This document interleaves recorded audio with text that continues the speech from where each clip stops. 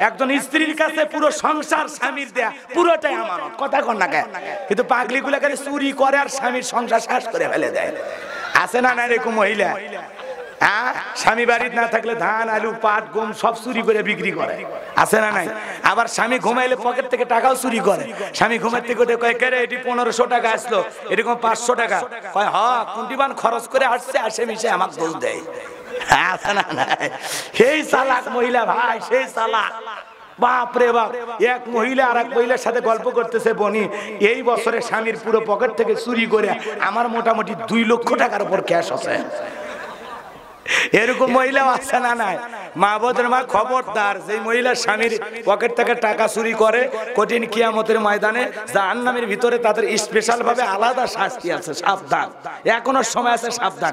যা বলবেন স্বামীকে বইলে কয়ে আর আপনারা একটু ভালো হয়ে যান। মাঝে মাঝে খুশি হয়ে পঞ্চাশ, একশো টাকা বইয়ের হাতে দিবেন। বাপ রে বাপ, আর কিপটা কথা কথা আমাদেরও ভালো হওয়া লাগবে, মনে থাকবে তো ইনশাল্লাহ ভালো হবে তো ইনশাল্লাহ মাঝে মাঝে বিবির জন্য খুশি হয়ে ভালো ভালো হাত দিয়ে নিয়ে আসবেন। স্ত্রী পছন্দের খাবার নিয়ে আসবেন।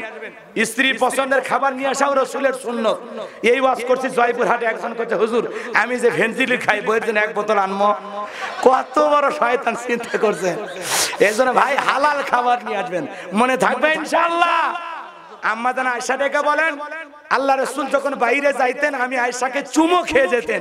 তার মানে প্রত্যেকটা স্বামীর দায়িত্ব, বাইরে যখন যাবে, স্ত্রীকে চুমো খেয়ে যাবে। এটা রসুলের সুন্নত কন সোবান আল্লাহ হুজুর কয় কি রে? হ্যাঁ? এক গিলাসে পানি খাওয়া রসুলের রোমান্টিক সুন্নত, সুবহানাল্লাহ কন। এক বালিশে মাথা রেখে ঘুমানো রসুলের সুন্নত, এক পাত্রের পানিতে গোসল করা সুন্নত, কথা কন। এগুলো আমল আছে আমাদের? বালিশ দুই জনের দুইটা।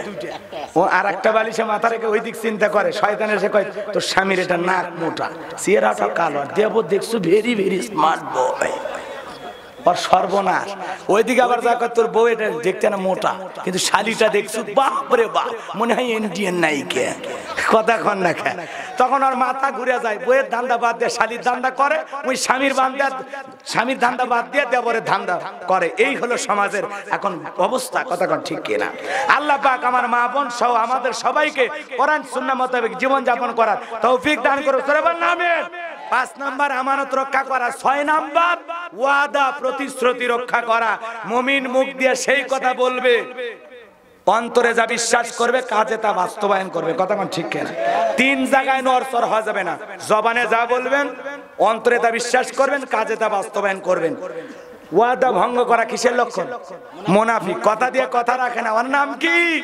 মুনাফিক। আর মমিন কথা দিলে কথা রাখবে। কথা কই, বোঝা গেল? এই জন্য ওয়াদা প্রতিশ্রুতি দেওয়ার আগে হাজার বার ভাববেন যে আপনি ওয়াদা পালন করতে পারবেন কিনা। বাপরে বাপ, নির্বাচনের আগে নেতারা ওয়াদা দেয়, চার হাজার দুইশো। পাশ করার পরে একটা ওয়াদাও পালন করে না আছে না নাই। ওই যে ভাই যে বললেন যে নির্বাচনের আগে জনগণের এই ভোটের দরদাম এটা আসলে দুঃখজনক বিষয়। আপনি কি মনে করছেন? তেঁতুল গাছ লাগায় আল্লাহর কাছে বলবেন আল্লাহ রাজশাহীর ফজলি আমদে। রংপুরে হাড়ি ভাঙ্গা দে আল্লাহ বলে, কোন গাছের নিচে দোয়া ধরেছি, যাকে চোখটা খুলে দেয়। তা আমরা সারা জীবন ওই নির্বাচনের কালো রাত্রিতে নেতার কাছ থেকে পাঁচশো, এক হাজার টাকা আমার এক নানি করছে। বলে আমরা পানি হুজুর, দোয়া করিস তো কেরে নানি, কি হচ্ছে তোর? কই এক রাতে বিয়াল্লিশশো টাকা কামাই নির্বাচনে। বক মার্কা হোক, আনারস হোক, হুন্ডা হোক, মোটরসাইকেল হোক, যে মার্কায় ঢুকছে, কাউরে ফেরত দেয়নি। ভাই, ভোট তো একজন দেবো, কিন্তু আমি বয়স্ক মানুষ, কার মন বেজার করব ভাই? যাই, যা দেশে হাত পেতে নিছি। কারও মন বেজার করিনি। তো এই হলো আমাদের অবস্থা। যেই দেশের জনগণ নির্বাচনের আগে নেতার কাছ থেকে ঘুষ খায়, ওই নেতার একটা নির্বাচন করতে যায়, পঞ্চাশ লক্ষ টাকা, এক কোটি টাকা খরচ হলো। ওই পাস করার পরে আগে নিজের ওই টাকা অ্যাকাউন্টে জমা করবে, তারপরে তো জনগণের সেবা করবে। এই জন্য আমরা আগে ভালো হওয়া লাগবে। ওই চা, বিড়ি, পান, সিগারেট আর নির্বাচনের কালো টাকা কোনোটাই হাত নেওয়া যাবে না। ভোট হলো পবিত্র আমানত। একটা সিল মারবেন, তার বিনিময়ে আপনি টাকা খান ওই নেতার কাছে কোনো কাজ করতে গেলে ওই নেতাও তখন পাঁচ হাজার দশ হাজার টাকা ছোট্ট কাজের বিনিময়ে নেবে। এই আমরা ভালো হলে জনগণ ভালো হলে নেতাও ভালো হবে। এই এক নাম্বার আমাদেরকে ভালো হতে হবে। যেই নেতা ভোট চাইতে ভাই আপনার কিছুই করে দেওয়া লাগবে না। আপনাকে চা বিড়ি পান সিগারেট কিচ্ছু খাওয়া লাগবে না। আমাদের রাস্তাটা খুবই খারাপ গ্রামের ভিতর ঢুকতে। আল্লাহ যদি আপনার নেতা বানায় এই রাস্তাটা আপনি ক্লিয়ার করে দেবেন। কথা কন না কা? ভালো। কথা কি বোঝা গেল? এই জন্য আমাদের ভালো করে বোঝা লাগবে। আমরা ভালো হলে জনগণ, নেতাও ভালো হবে। ইনশা গোড়া গাছের গোড়া ঠিক, মাথাও ঠিক হবে। এই জন্য গাছের গোড়া হলো জনগণ। কথা কথা গাছের গোড়া হলো ডালপালা হলো নেতা। আমরা ঠিক, নেতা ঠিক। কথাকে বোঝা গেল? হ্যাঁ আমাদের ঠিক হওয়া লাগবে। নেতা এমনি ঠিক হবে। নেতাদেরকে তো আমরাই সোজা বানাবো। কথা কর? আমরা কেউ ভোট দিবার গেলাম না। এখন কি হলো? বিনা প্রতিদ্বন্দ্বিতায় পাস আমার নবী মোহাম্মদ রসুল্লাহ যখন করতেন আল্লাহ বলেন, নবীজি মধ্যে দাঁড়িয়ে থাকতেন, আমার নবীজির পা মোবারক ফুলে যেত। সুবহানাল্লাহ। আম্মা জান আয়েশা ডেকে বলে, নবীজি এতটা লম্বা সময় রুকু করতেন, এতটা লম্বা সময় সিজদা করতেন, মাঝে মাঝে মনে হয় নবীজি আর কোনোদিন রুকু থেকে, সিজদা থেকে মাথা উঠাবেন না, বলেন আল্লাহু আকবার। এতটা দীর্ঘ টাইম লম্বা টাইম ধরে রুকুতে থাকতেন, মনে হয় আর কোনোদিন রুকু থেকে দাঁড়াবেন না। সিজদায় গেলে মনে হয় আর কোনোদিন সিজদা থেকে মাথা উঠাবেন না। এত লম্বা সময়, এত দীর্ঘ টাইম ধরে সিজদা করতেন মোহাম্মদ রসুল্লাহ আলাইহি সাল্লাম বলেন, আল্লাহ আম্মা জান আয়েশা ডেকে বলেন, একদিন রাত্রি বেলায় দেখি বিছানা ভিজে গেছে।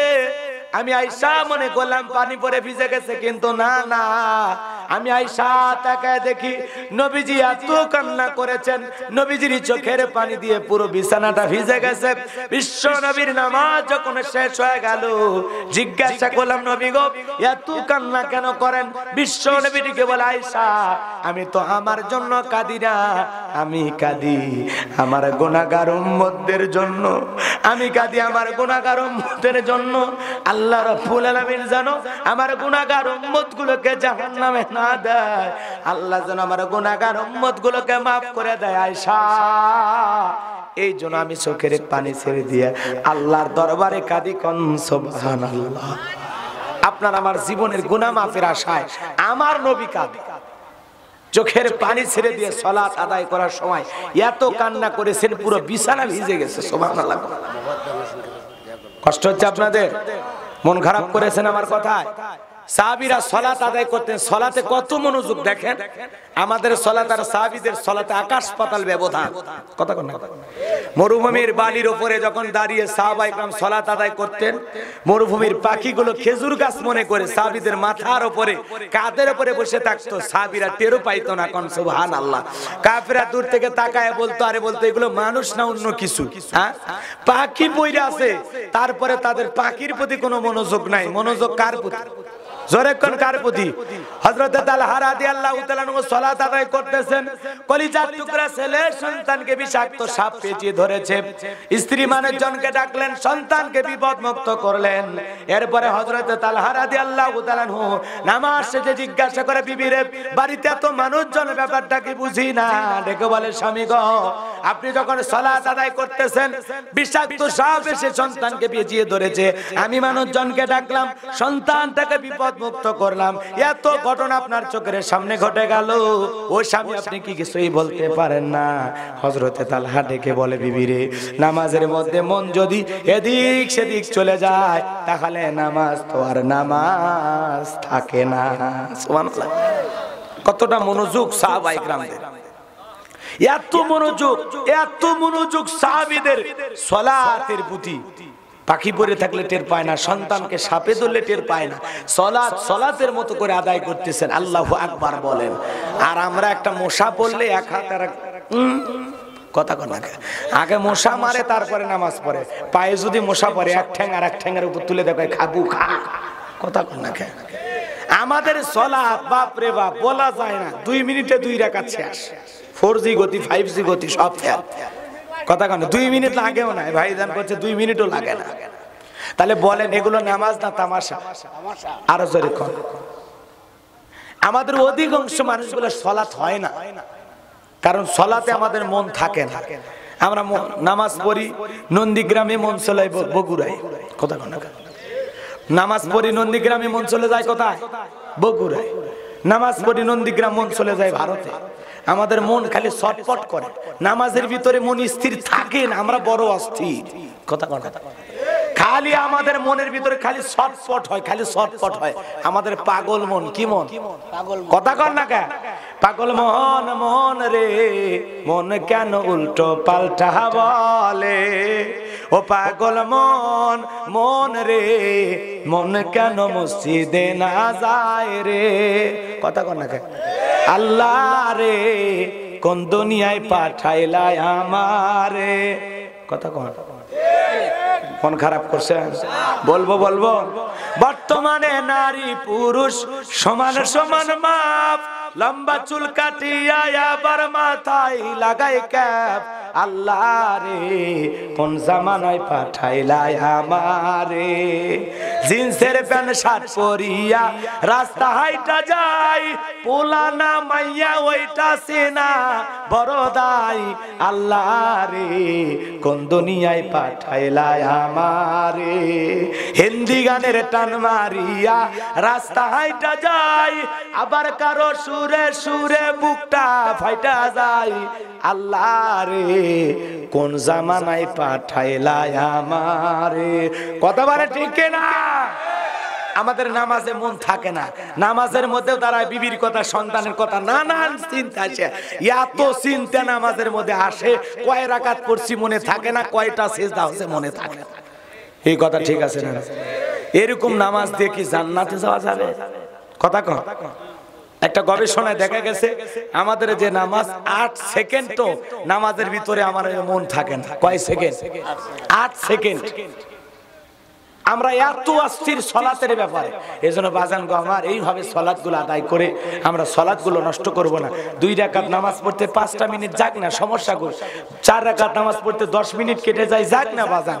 আল্লাহর খুশির জন্য রুকু, সিজদা সুন্দর করে করার জন্য দশ মিনিট, পনেরো মিনিট যদি লাগে, সমস্যা আছে? কথা বলেন, সমস্যা আছে? আজকে আমরা সব জায়গায় ডিজিটাল হয়ে যাচ্ছি। যেই হুজুর বেশি তাড়াতাড়িতে তারাবির সলাত আদায় করতে পারে তার ইমামতি চলে। কোন হুজুর যদি একটু ধীরস্থির ভাবে আস্তে আস্তে পড়ায় কলে আলসে হুজুর দিয়ে চলবি না। মিয়ালা নামাজ, বিশ টাকার নামাজ কি কম? আবার বেতের পর লাগে এসা পর লাগে, মোটে বহুত রাকাত হয়ে যায়। আর ওই হুজুর, বাপ রে বাপ, এক তারাবি আর এলে পড়াতে এক দেড় ঘণ্টা লাগায়। বলে চলবি না। হুজুর খোঁজ। এইবার হুজুর খুঁজে বের করছে যে হুজুর বিশ টাকা বিশ মিনিটে শেষ করে। এইবার হুজুর পাইছি মনের মতো। আছে না না বাজান, বিশ্বাস করেন, এই তামাশার নামাজ দিয়ে আমরা জান্নাতে যেতে পারব না। নামাজে যেতে গেলে রুকু, সেজদা ঠিক নবী রাসূল যেভাবে করে গেছেন সাহাবা ইকরাম যেভাবে করে গেছেন, যতটা মনোযোগ দিয়ে সলাত আদায় করেছেন, আমাদের মনোযোগ সেইভাবে বাড়ান লাগবে। এই জন্য আল্লাহ বলেন, আল্লাযীনা হুম ফি সলাতিহিম খাশিউন যারা নিজেদের সালাত বিনয়ের সহিত, নম্রতার সহিত, বিনয়ী নম্রতা মানে বোঝেন আর গভীরতা। এই কথাগুলোর অর্থ কি বোঝেন? কথা বলেন বিনয়ী কাকে বলে? বিনয়ী। এমন একটা শব্দ, যে শব্দগুলো আপনাদের বুঝতে গেলে অনেক সময় লাগবে। সহজ কথা হলো, বিনয়ী মানুষের ধৈর্য অনেক বেশি। কথা ধৈর্য অনেক বেশি। সে লম্বা সময় দাঁড়িয়ে থাকতে পারবে সলাৎ। নম্রতার সহিত, ভদ্রতার সহিত, আল্লাহর খুশির জন্য দাঁড়ায় থাকবে। সে তাড়াহুড়া করবে না। কথা বোঝা গেল? কিন্তু আমরা সলাতের ব্যাপারে তাড়াহুড়ো করি। এমন তাড়াহুড়ো, এক চাষা অজু করতে যে পর্যন্ত তাড়াহুড়ো, এক ঠ্যাং না দিয়ে মসজিদে ঢুকছে। তাই সালা মসজিদ পিছলা খায়া চাষা একদিক, লঙ্গি একদিক, তাও কয় আল্লাহ একবার আসে না খবরদার বাজান, এরকম করা চলবে? জোরে বলেন, চলবে। সলাত আদায় করব কার খুশির জন্য? আরও জোরে বলেন, কার খুশির জন্য? আর অন্তরে ভয় থাকবে একমাত্র কার? আরও জোরে বলেন, কার? আল্লাহর ভয় নিয়ে সলাত আদায় করতে হবে, ইত্তাকুল্লাহ তাকুয়া নিয়ে খোদা ভীতি নিয়ে, এমন ভয় নিয়ে সলাত আদায় করব, মনে করব আমি নামাজ পড়তেছি, আল্লাহ আমাকে দেখতেছেন।